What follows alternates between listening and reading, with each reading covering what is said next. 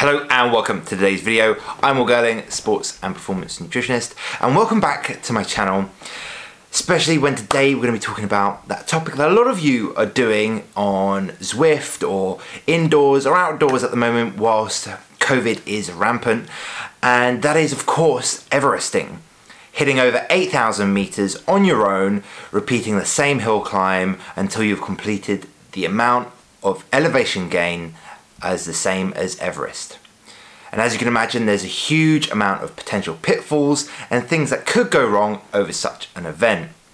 Many of you will be doing this between 12 and 15 hours, maybe longer, maybe a bit quicker if you are really that fast.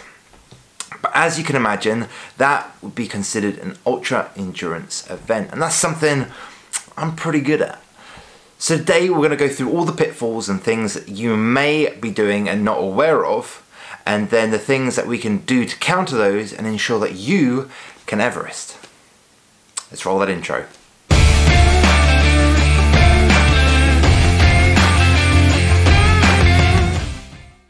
What are the things that you could be doing wrong that may hinder your potential success in doing an Everest attempt? Now, there are many considerations that you need to think of for such an event. And first and foremost, it's really important to understand that to maintain exercise output, you need to maintain blood glucose levels. And there's an iconic study in 1986, I believe, by Coyle, and showed that anything above two hours you need to take on carbohydrate to maintain exercise performance. Now this is obviously carried over into all events and the only time ketosis might be worthwhile is if you know exercise intensity isn't going to go above a certain point. And in Everesting, I can tell you that's not going to be this event unless you're probably doing it over a climb that's only like 3% gradient, which is very low and you're going to be riding for a very long time. Well, there is five easy areas for us to cover and go over to help you with this.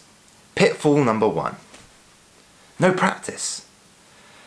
Now, I'm not saying go out and practice an Everest, but I'm saying practice your food.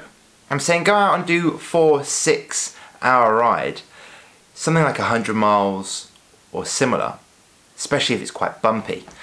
But you need to get used to consuming a lot of carbohydrate per hour whilst working hard for that kind of duration. Now, obviously, you're not going to go practice riding Everest, but you will go out for a long ride. And getting used to taking on around 80 grams an hour, maybe more, maybe a little bit less, will make a big factor in your performance.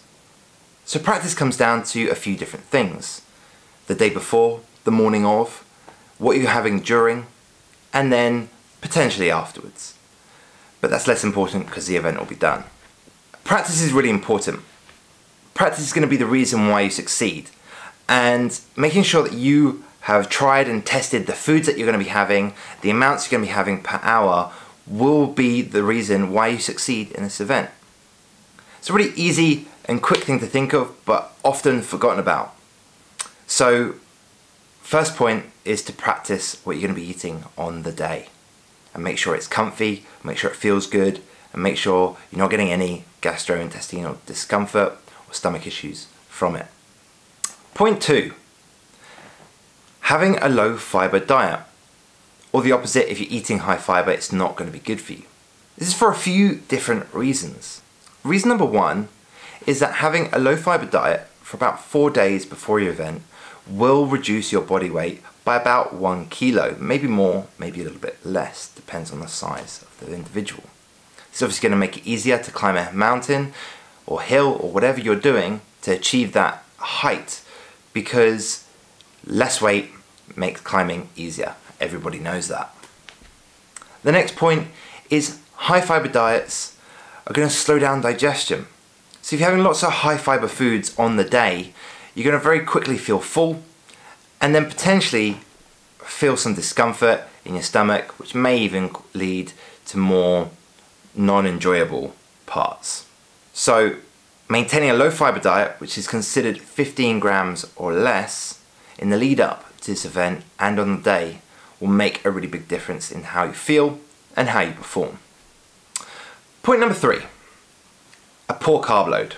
So many people wing it, have pizza, have a big night out, have big pasta binge or something like this on the day before. And I have done a video, link in the corner, to carb loading. And it's something that you should definitely practice along with that big ride that I said to practice for this event. If you are going to go out for 100 miles, 6 hours or so, then you practicing a carb load the day before would be worthwhile to make sure one, that you get the right amounts, two, you pick foods that agree with you, and three, that you feel good in the morning. It seems simple, once again, but practicing that carb load will reap the rewards on the day making sure that you're getting high glycemic index foods, that you're eating 10 grams per kilogram body weight of carbohydrate, and avoiding, once again, high fiber foods and things like red meat, which do slow down digestion and will still be sitting in you the next day. Carb loads have been shown to improve performance, especially in ultra endurance events, and I can't tell you how integral they are for you performing well and just feeling good for this kind of thing. So once again, practice your carb load. Work out the foods that you want, the foods that agree with you, and will be available wherever this kind of hill or mountain that you're doing it up. Point four. This one's a really good point, and it's often quite easily forgotten after you've had a carb load, which is the breakfast and morning of meal. Essentially the meal that you have two to four hours before this event. Now, carbohydrate loading is all about storing as much muscle glycogen as you can. And that's going up and up and up. And whilst you're asleep, that's not going to change. It's not going to go anywhere, it's not going to disappear. But what does disappear or go is liver glycogen. And liver glycogen empties out through the night to maintain blood glucose levels. But this means that when you wake up, that it is empty.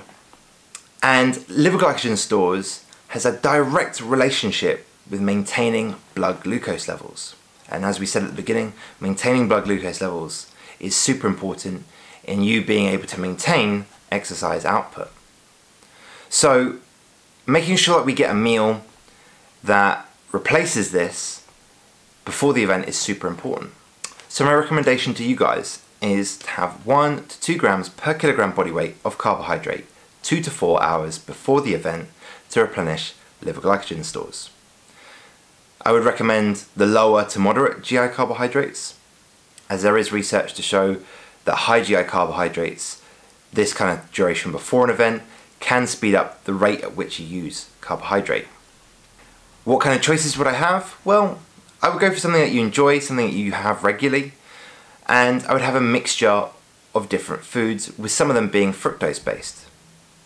That could just be some banana, or some honey, maple syrup, or some fruit juice to go alongside the meal. This is because fructose does get stored primarily in the liver and will just aid in the amount that you get in there a bit quicker. So to round that up, two to four hours before the event, you're having a solid carbohydrate meal to replace liver glycogen stores to ensure you're able to maintain blood glucose levels during exercise, especially of this duration. Now lastly, point five, this one's particularly interesting and quite controversial because it's a bit ambiguous in a sense. And what we're talking about here is exercise intensity.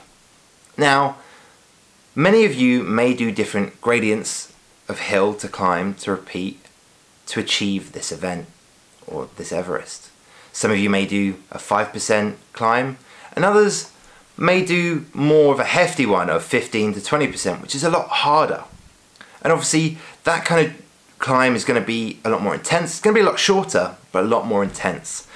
And with exercise intensity going up, also heart rate goes up, and so does power output in the zone that you work in. And as exercise intensity comes up, we draw a lot of blood away from our stomach. And this goes into the muscles that are obviously working, and also over our skin to help cool us down if it is hot. So, as blood comes away from our stomach, digestion gets impaired. We're not able to quickly take on that nutrient or those nutrients, those carbohydrates, and we can get gastrointestinal discomfort. So, if you are doing a higher percentage gradient hill, to achieve this Everest, it may be worthwhile considering the strategy at which you utilize or take on your carbohydrate. I, in my advice, would say don't have it literally just before you go up or during going up. I would have it when you get to the top and when you're coming down the hill, or as you arrive at the bottom and having a couple of minutes or so, possibly 15, which would be ideal because it takes around 15 minutes for blood glucose levels to peak after ingestion of carbohydrate. And this means that you'll have digested it, blood glucose levels are being elevated, and you're not focusing on digesting something whilst you're working really hard and just pushing up this big gradient hill. So that's it. That's my five tips for you guys doing Everesting. They are obviously the pitfalls and also the things that you can do to counter them and get the most out of the event that you're training for and wanting to achieve. I hope you all enjoyed today's video. If you did, drop a comment down below. Let me know if you've Everested or if you're planning to do one and where you're going to do it and if this video helped you. Now guys, do subscribe to the channel. I do really appreciate it. Many of you watching this have not yet, so hit that subscribe button. Why haven't you? And I'll see you guys again soon. Remember, as always, fuel for the work required. Tune in again soon, and it's bye from me.